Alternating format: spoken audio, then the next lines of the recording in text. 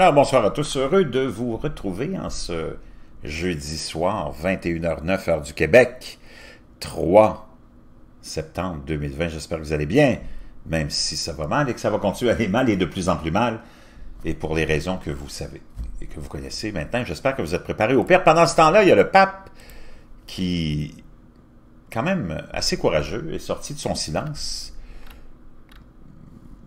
imposé par la pandémie, j'imagine, le pape François a annoncé mardi un jubilé pour la Terre pour commémorer le 50e anniversaire du jour de la Terre, appelant tous à lutter contre l'urgence climatique.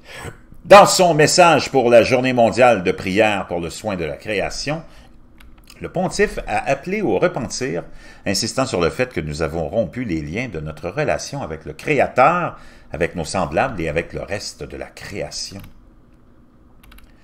Notre demande constante de croissance et un cycle sans fin de production et de consommation épuisent le monde naturel, déplore le pape. Les forêts sont lessivées, la couche arabe s'érode, les champs échouent, les déserts avancent, les mers s'acidifient et les tempêtes s'intensifient. La création gémit, conclut-il. La solution à ces problèmes consiste à apprendre et à écouter la terre, déclare-t-il, et à occuper notre juste place dans la toile de la vie. Nous devons également une fois de plus écouter la terre elle-même, a déclaré Francis. Aujourd'hui, nous entendons la voix de la création, nous exhortant à retourner à notre place légitime dans l'ordre naturel, créé, à nous rappeler que nous faisons partie de ce réseau de vie interconnecté par ses maîtres. La désintégration de la biodiversité, les catastrophes climatiques en spirale et l'impact injuste de la pandémie actuelle sur les pauvres et les vulnérables. Tout cela est un signal d'alarme face à notre avidité et à notre consommation rampante, dit-il. Le pape exhorte tous à adopter un style de vie plus simple et plus austère, comme le Seigneur d'ailleurs, non? Nous devons examiner nos habitudes de consommation d'énergie, de consommation, de transport et d'alimentation, déclare-t-il. Nous devons éliminer les aspects superflus et destructeurs de nos économies et développer des moyens vitaux pour échanger, produire et transporter des marchandises. Plus controversé, François appelle à une justice réparatrice pour compenser l'énorme dette écologique encourue dans l'exploitation historique du Sud.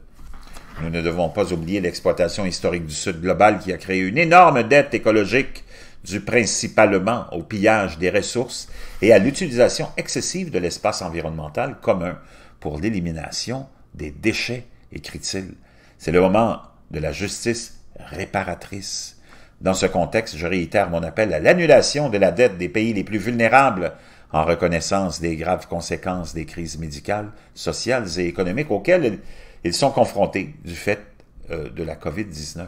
Dans son message, le pape réitère sa conviction que nous sommes au milieu d'une urgence climatique et par conséquent la restauration du climat est la plus haute importance. Et de la plus haute importance, nous manquons de temps. Comme nos enfants et nos jeunes nous l'ont rappelé, déclare-t-il, nous devons tous mettre en œuvre, ou tout mettre en œuvre pour limiter la hausse de la température moyenne mondiale sous le seuil de 1,5 degrés Celsius, écrit-il dans l'accord, inscrit dans l'accord pardon, de Paris sur le climat, car aller au-delà s'avérera catastrophique. Avec la commémoration de la Journée mondiale de la prière pour le soin de la création, le pape a également lancé une longue saison de la création qui se poursuivra jusqu'à la fête de Saint François d'Assise le 4 octobre. Vraiment, euh, il n'y a pas grand-chose qu'on peut dire contre ce message-là. Chapeau à François. Je voulais vous partager ça parce que je sais qu'il y en a beaucoup d'entre vous euh, qui avaient des convictions religieuses, croyantes. Et qu'un message comme celui-là, c'est un message universel. Mais il fallait le saluer. Comme il se doit. Je vous reviens.